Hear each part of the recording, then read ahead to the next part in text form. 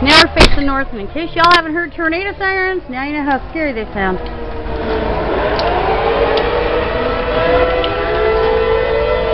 The rotation is not over us, so we're fine. The thing with these things, you gotta learn how to watch the TV. Because you can track them. Within like a block of your house even.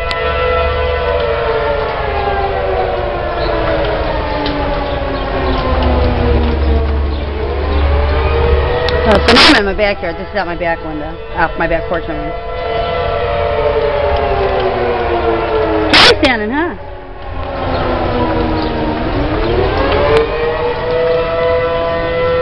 Just to give you an idea. Now I'm facing back south. South uh, west.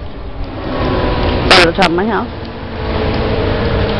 See how the clouds are kind of light here?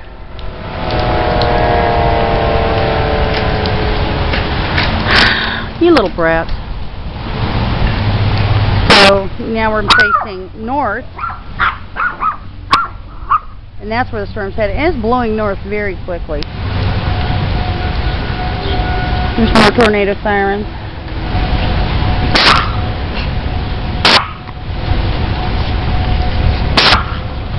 That's looking northeast. You can see rotations in all these clouds. White thunderstorms off that direction.